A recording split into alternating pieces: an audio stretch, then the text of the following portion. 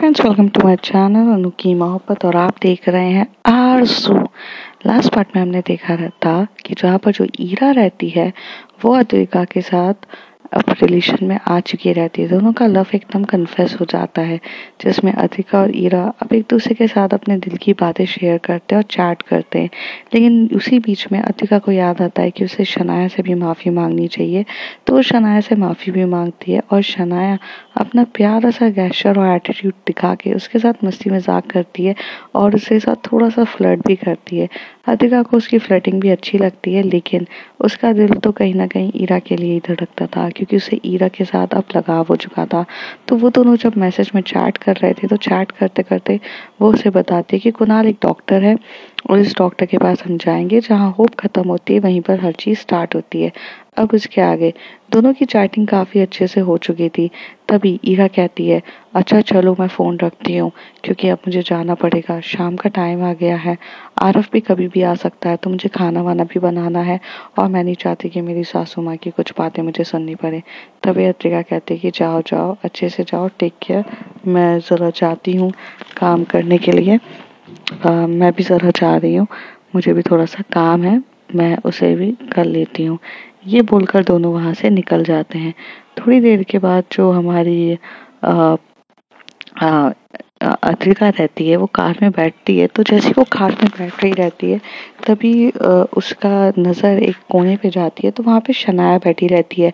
Shanaya actually एक bus stop पे बैठी रहती है और काफ़ी देर तक वेट कर रही रहती है कि कोई एक बस आए और वो और जैसे जैसे अधिका वहाँ पर देखती है तो बस आती है और उस बस में वो घुसने के लिए जैसे एंटर करती है तो वो पूरी की पूरी बस एकदम से भर जाती है और वो पीछे के पीछे रह जाती है।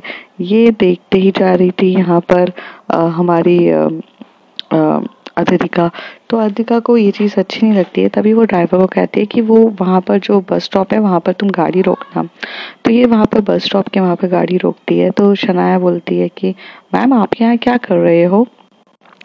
तो तभी अधिका कहती है, तुम अभी तक कितनी देर से यहाँ पे वेट कर रही हो? तो कहती है, हो क्या, कुछ आधा घंटा? एंड वैसे भी हम मिडिल क्लास लोग हैं मैम हमें आदत है यहाँ पे आधा आधा एक घंटा वेस्ट करने की। क्या कर सकते हैं भला हम? तो वो कहते हैं, पहली बात तो तुमने मेरे लिए आज का लेक्चर छोड़ा और ऊपर से अब तुम्हें इतना वेट करना पड़ रहा है। So give me a favour तुम मेरे साथ बैठो कार पे। तो वो बोलती है, नहीं नहीं मैम रहने दीजिए। तो वो कहती बैठो और वो उसे अपने कार पे बिठाती है और वहाँ से लेने के लिए चली जाती है। और वो उसे कहती है कि तुम्हारा हॉस्टल जहाँ है, मुझे बता देना। और ड्राइवर भैया को वो हॉस्टल का एड्रेस बता देती है और दोनों वहाँ जा रहे रहते हैं। तभी जो ईरा रहती है, उसका मैसेज आता है अधिका को तो अधिका उसका मैसेज खोलती है तो उसमें एक कोड दिखा रहता है, जो एक्चुअली में ईरा को काफ़ी अच्छा लगा रहता है तो वो कोड फॉरवर्ड कर देती है, जो लव से रिलेटेड होता है, कि प्यार का मतलब सिर्फ़ और सिर्फ़ लेना नहीं, देना होता है, और जिसको वो देख के स्माइल करती है, तभी शनाया पूछती है व्हाट्स मैम समथिंग समथिंग क्या आपकी लाइफ में कोई ऐसा आ चुका है क्या, जिसके मैसेजेस देख के आप काफ़ी ज़्यादा खुश रहती हो? तभी अधिका कहती है नहीं नहीं ऐसा कुछ नहीं है। अच्छा तुम बताओ सब ठीक? तो वो कहती है मैं क्या बताऊँ सब ठीक? आपके साथ ही थी मैं। आ, तो वो कहती हैं कि क्या हुआ? तुम ऐसे फेस के एक्सप्रेशन क्यों बना रही हो? तो वो कहती है भूख लग रही है मुझे। मुझे बहुत ज़्यादा भूख लग रही है। शनाया ऐसे बोलती है तभी अतिका कहती है ओके ओके ठीक है। क्या खाना पसंद करोगी? तो कहती है, हम इंदौर में हैं। और इंदौर में छप्पन भोग, ये सब चीज़ें तो कितनी फ़ेमस होती है। वहाँ पर बहुत सारी डिलीशियस चीज़ें मिलती है। तो कुछ भी खिला देना। तो वो कहती है अच्छा अच्छा पक्का पक्का। तो ऐसे कह के वो लोग जब डायरेक्शंस में चल रहे रहते हैं, तभी वहाँ पे छप्पन भोग पड़ता है। और जो ड्राइवर रहता है, वो बोलता है, मैम, आप लोग यहीं बैठिए, मैं लेकर आ जाता हूँ। तो क्योंकि अधिका को व्हील चेयर में थी और उसे मतलब उसके लिए व्हील चेयर निकालो, फिर अंदर लेकर जाओ। तो काफ़ी टाइम था और उसके ड्राइवर को हर चीज़ पता थी कि कब कौन सी चीज़ मैम खाती है। तभी वहाँ पे शनाया कहते, अरे रुको ना आप भैया रुको। मैं क्या कह रही थी मैम कि मेरा मन कर रहा था कि मैं भी उनके साथ जाके अपनी मनपसंद चीज़ें ले लूँ। इफ़ यू डोंट माइंड क्योंकि मैं थोड़ा सा यूनिक खाना खाती हूँ। तो तभी अतिका कहती है कि हाँ हाँ ठीक है, जाओ। फिर ऐसे वो दोनों चले जाते हैं। वो ड्राइवर भैया के साथ बहुत मस्ती करते हुए जाती है। अतिका वहाँ देखती है तो वह मस्ती मज़ाक में दिखती है। और थोड़ी देर के बाद वो एकदम से इधर करती है। तभी उसे एक कॉल आता है और वो कॉल को पिकअप करती है। वो कॉल एक्चुअली में कुणाल का रहता है। कुणाल उन्हें सारी डिटेल्स बता रहा रहता है कि आप कल दो बजे आ सकते हैं अपॉइंटमेंट के लिए और दो बजे आइए। वहाँ पर मेरे साथ यहाँ मिलिएगा, यहाँ पे कुछ चीज़ें हैं। तो जिसमें अविका जो रहती है, कुणाल के साथ काफ़ी अच्छे से बात कर रही रहती है और कहती है कि ठीक है, मैं आ जाऊँगी and I don't have any issue regarding of that तो मैं आ जाऊँगी। और ऐसे कह के वो फ़ोन रख देती है। थोड़ी देर में करीब दस से पंद्रह मिनट के गैप के बाद दोनों के दोनों आते हैं। तो वहाँ से जो अद्विका रहती है, वो एक जो रोल आइसक्रीम होती है, जो तवा आइसक्रीम बोलते हैं, वही खाती थी तो वो वही खाती है। और यहाँ पर सैंडविचेस और साथ साथ एक पिज़्ज़ा, वो लेकर हमारी शनाया आती है। तो शनाया जैसी आती है, तभी वो बोलती है, मैम, आप खाना चाहोगे?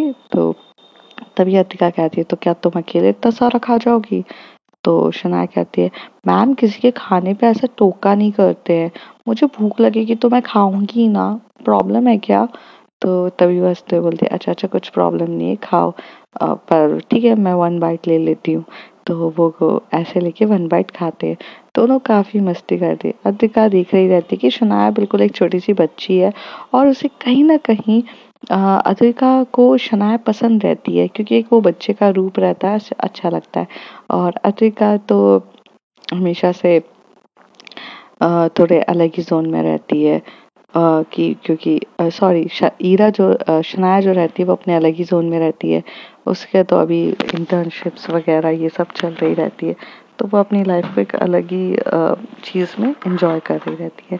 थोड़ी देर की बात रहती है कि उसका हॉस्टल आ जाता है और वो मैम को थैंक यू बोल के निकल जाती है। यहाँ पर जो ईरा रहती है वो भी अपने आ, काम में बहुत ज़्यादा बिज़ी हो जाती है। आरफ के लिए खाना वाना बनाना स्टार्ट कर देती है और एज़ यूजुअल खाना बनाते टाइम उसकी जो सास रहती है वो थोड़ा ना थोड़ा तो उसको टॉन्ट मारती रहती है कि तुम कहाँ है तुम्हारा ध्यान तुम खाना ढंग से नहीं बनाती हो। और वो भी एज़ यूजुअली देख के हर चीज़ को अवॉइड करते हुए खाना बनाने लगती है। थोड़ी देर के बाद वक्त इसी तरीके से बीत जाता है और नौ दस बज जाते हैं। नौ दस बजे आरव आता है। आरव जैसे ही आता है तो वो बोलता है, मुझे काफ़ी ज़्यादा भूख लग रही है I am very very hungry और ऐसे कह के वो बैठ जाता है।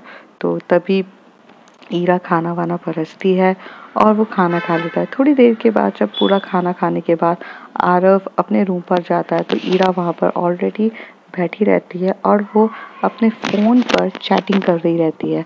और वो चैटिंग एक्चुअली में कर रही रहती है हमारी अद्रिका के साथ। अद्रिका और ईरा अब फ़ोन पे भी काफ़ी ज़्यादा एक दूसरे के साथ चैटिंग कर रहे थे, जिसमें वो कहीं ना कहीं क्यूट क्यूट सी फ्लर्टिंग तरीके से बात करते थे।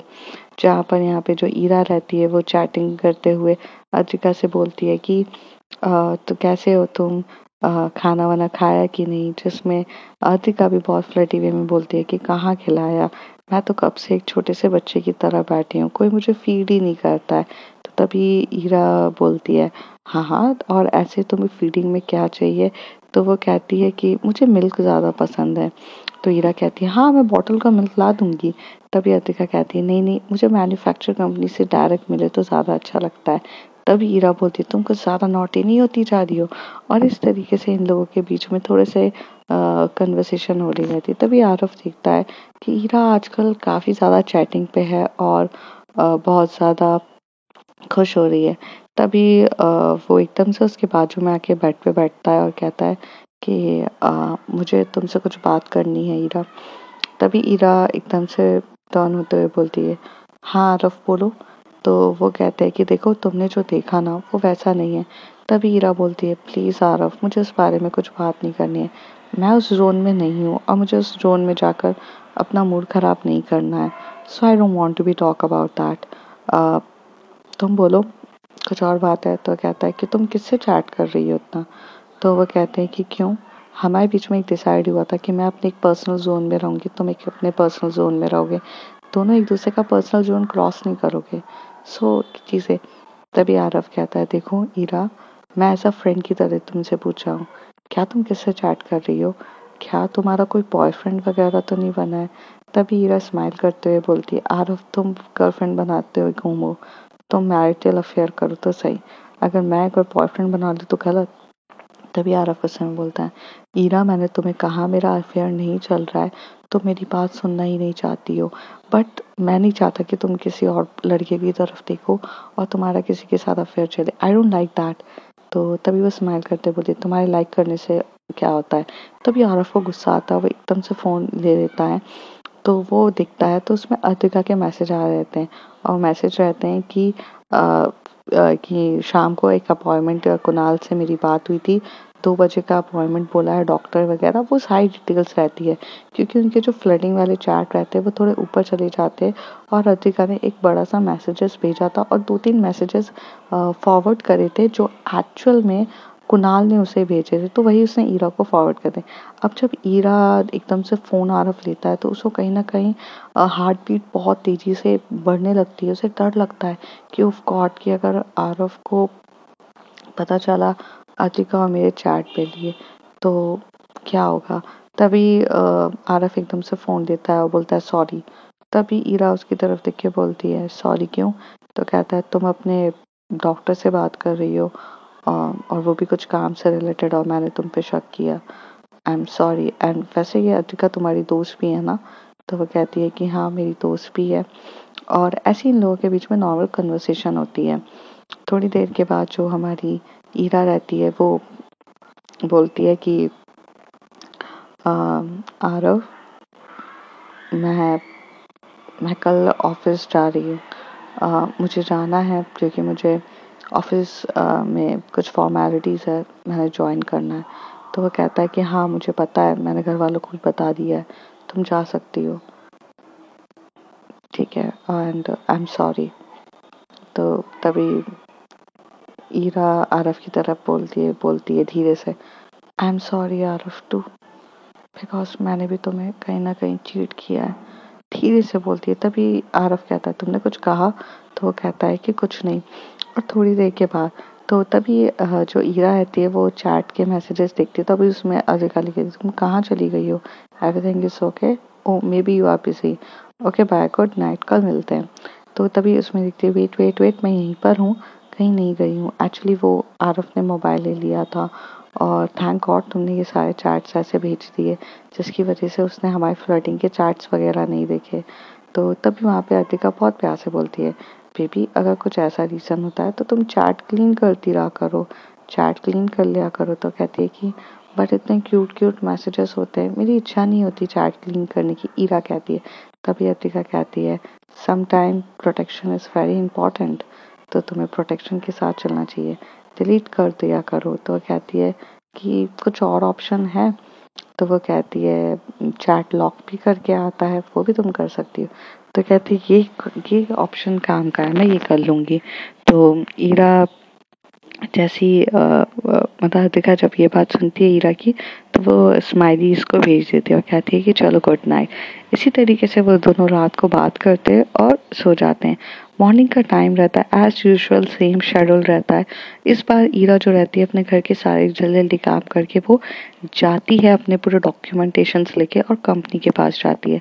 अर्तिका अपने ऑफ़िस में जाती है बट जब वो ऑफ़िस में जाती है तो उसकी जो पीए रहती है, जो उसकी असिस्टेंट रहती है, वो इस बार नहीं रहती है। असिस्टेंट छुट्टी पे रहती है और वो नहीं रहती है।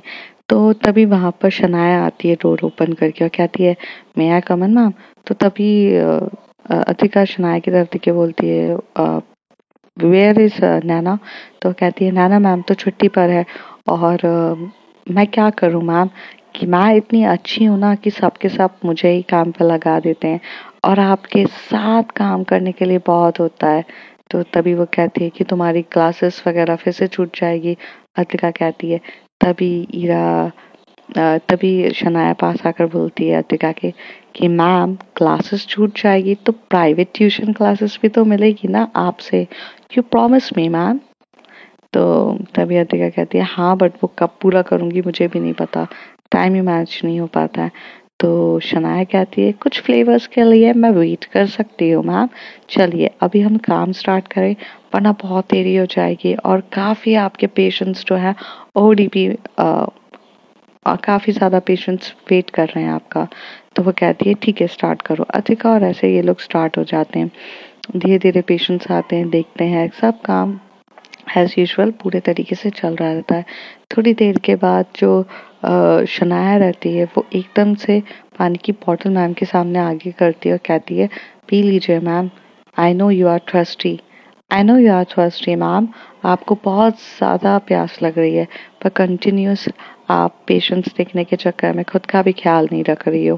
प्लीज़ पी लो, आप बेटर फील करोगी।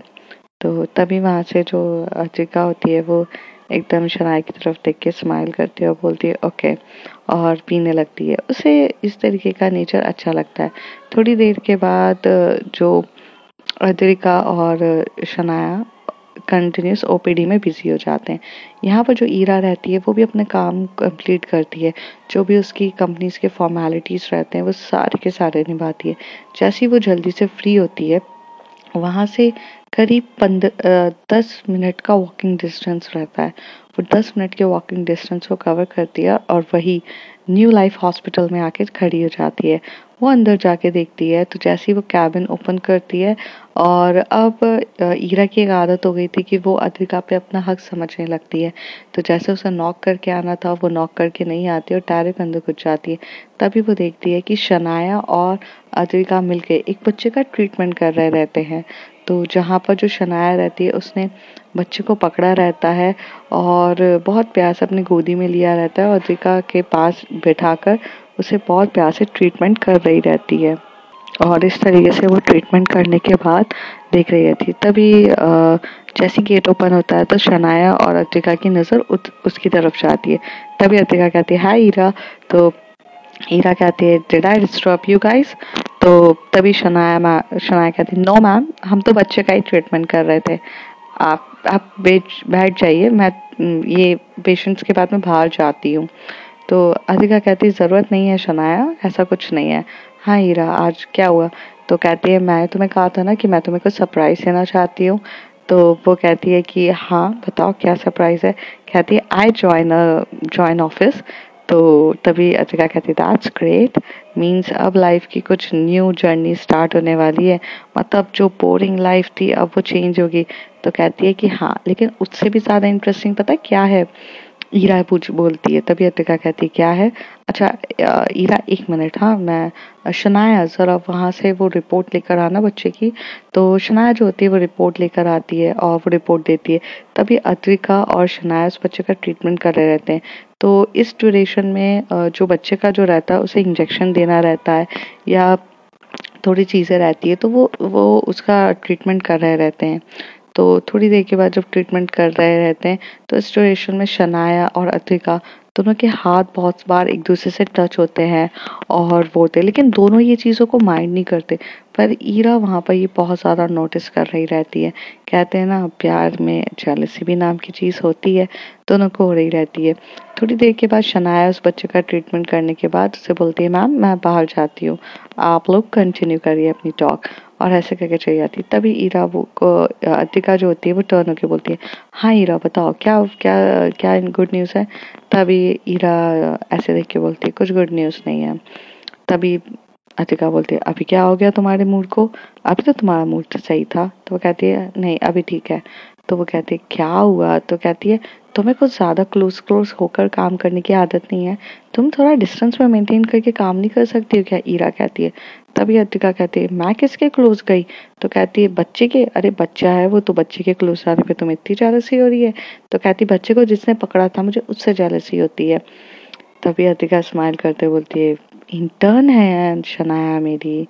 और इंटर्न से तुम कितना चलोगी, पापा? चलने वाली बात ये नहीं है कि वो इंटर्न है।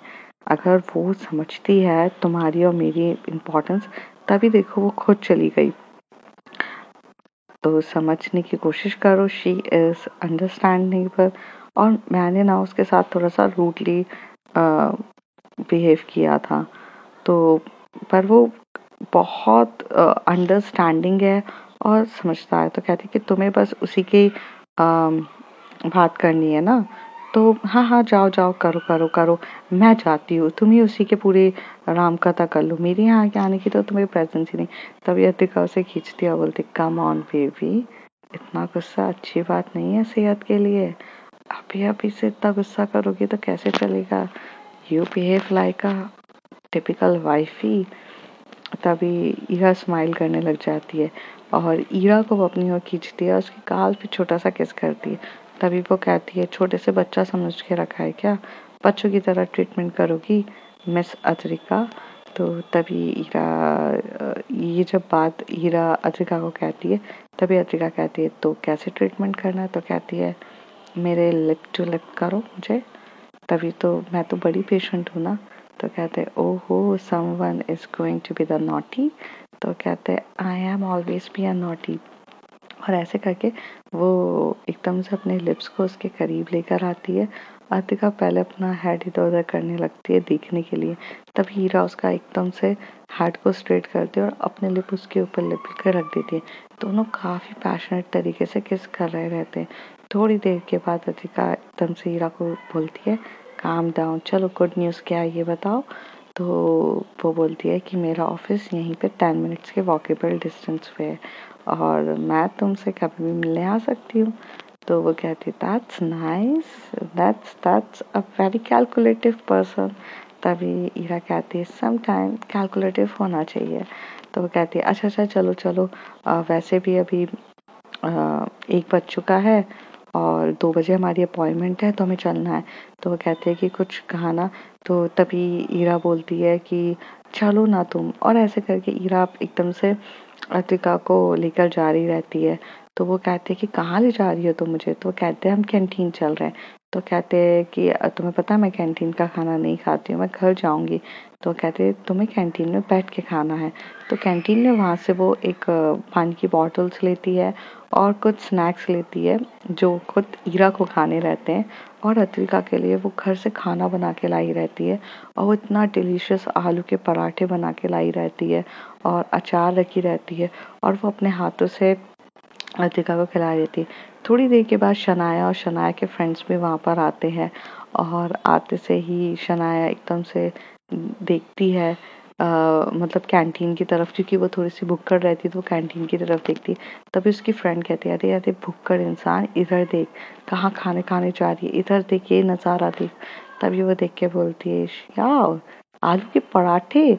तो यहाँ पे उसकी फ्रेंड बोलती है मैं आलू के पराठे नहीं दिखा रही हूँ, मैं दिखा रही हूँ, देखो वो देख। तो कहती कम ऑन यार, वो उनकी फ्रेंड है and when Ajika ma'am is happy I need to be happy because love ऐसे ही होता है। तभी उसकी फ्रेंड कहती है कौन सी फिलोसफी बुक्स में पढ़ के आई है? पागल हो गई है क्या? तू गलत ट्रैक पे है। तू प्यार करना छोड़, वो दोनों रिलेशंस में तो वो कहती है, नहीं हो सकता। एक्चुअली कहीं ना कहीं शनाया को भी पता रहता है बट वो एक्सेप्ट करना नहीं चाहती। इसलिए अपने दिल को समझाती रहती है कि ऐसा हो ही नहीं सकता। थोड़ी देर के बाद वो दोनों इतने अच्छे से खाते हैं। ईरा उसे बहुत अच्छे से आलू के पराठे अपने हाथों से खिलाती है। पूरा उसका मतलब वाइप्स आउट करती है उसका माउथ और उसे टर्न करती है और बोलती है, अब चले। और ऐसे करके वो चलने के लिए तैयार हो जाते तभी शनाया देख रही रहती है। तभी ईरा जो रहती है, वो शनाया की तरफ़ देख के वो इशारों में कहती है श्रे इज़ माइन तभी शनाया स्माइल करके बोलती है शी इज़ सो किडिश ऐसा करते हुए बोलती है। और फिर वहाँ पर वो भी अपना कैंटीन में कुछ भी खाने के लिए तैयार हो जाती। थोड़ी देर के बाद ये लोग कार में बैठते हैं और कार में बैठने के बाद अतिका उसे बहुत प्यार से बोलती है thank you for just a lovely lunch मुझे कभी पता नहीं था कि कोई मुझे इतने अपने हाथों से खिलाएगा। तभी रा कहती है, अब आदत डाल लो तुम। तो कहती है, क्या तुम मुझे रोज खिलाओगी? देखो, मेरी आदत अगर डल गई ना बाद में जाके तुम्हें नुकसान हो जाएगा क्योंकि फिर मैं जिद करूँगी। अतिका कहती है ईरा कहती है तुम्हारी सारी जिद पूरी करने के लिए तो आई हूँ। जो जिद पूरी करोगे वो करूँगी। तभी अतिका उसके पास बहुत नोटी वे में बोलती सारी जिद? हम्म, और ऐसे कह के वो जो अपना इशारा है वो उसके आ, मतलब नेक की तरफ़ करती है। फिर थोड़ा सा नेक की तरफ़ उसके क्लीवेज की तरफ़ दिखाती है। और अजिका उसे थोड़ा सा नोटी वे में बोलती है बोलती है ड्राइवर भैया भी हैं, तुम थोड़ा सा कम नोटी नहीं हो सकती हो? तो कहती है, शुरुआत किसने करी? तो कहती है, अरे, मैंने कुछ शुरुआत नहीं करी है। और इस तरीके से तभी वो ड्राइवर भैया बोलते, मैम, घर की तरफ़ लूँ? तभी वो कहते, घर की तरफ़ नहीं डॉक्टर की तरफ़ लेना है और हमें अब डॉक्टर की तरफ़ जाना है। तो फ्रेंड्स अब देखते हैं आगे क्या होता है स्टोरी मैंने कहा था कि मैं टाइम के ड्यूरेशन के हिसाब से ऊपर नीचे फ्लक्चुएशन हो सकता है तो प्लीज़ मैनेज करिए, मुझे ज़रूरी काम है। तब तक के लिए bye bye take care if you like my story like share and subscribe